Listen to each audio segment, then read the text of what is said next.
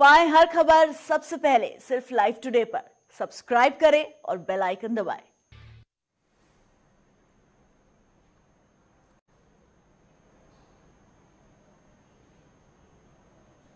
नमस्कार, स्वागत है आपका। मैं हूँ आपके साथ धीरेन्द्र अवस्थी और बुलेटिन की शुरुआत करते हैं। मिर्जापुर में एक स्थानीय बाज़ार में बाइक टक्कर को लेकर विवाद हो गया, जिसमें मारपीट के साथ ही गोली चल गई, जिसमें आठ लोग घायल हो गए हैं।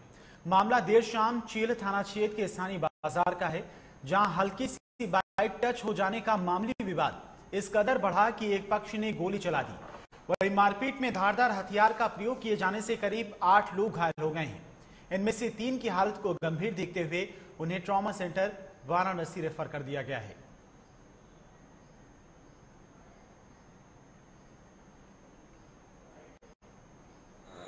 एक दो पक्षों में बच्चों में जो कि लगभग 18-19 साल के लड़के थे।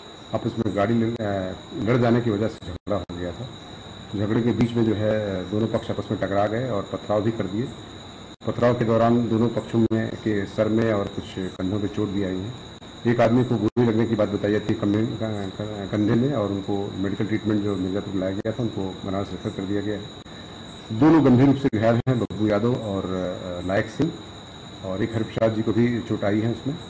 और दो लोग मामूली से घायल थे तो दो तीन लोगों को बनारस रेफर कर दिया गया है और उनका इलाज कायदे से कराया जा रहा है। साथ ही साथ मौके पर फोर्स पहुँच चुका है। हम लोग भी मौके का निरीक्षण कर लिए हैं। मौके पर शांति व्यवस्था बनाए रखे जाने के लिए पर्याप्त बल लगा दिया गया है। बच्चों का विवाद हुआ था, बच्चों बच्चों को विवाद हुआ था। हमारी पार्टी के उन लोगों से बात करने उन्होंने अंधाधुंध फायरिंग शुरू स्टार्ट कर दी, जिसमें हमारा एक भतीजा गंभीर रूप से घायल है, उसको गोली लगी है और दो पक्षों, दो भाइयों को कुल्हाड़ी से सर पे मारा गया है। सुदामा यादव पप्पू जिसका नाम है, वो रिवाल्वर से फायरिंग किया। जिसकी तीन लोगों की हालत गंभीर है, और पाँच लोग नॉर्मल में मतलब सर और फूटा है।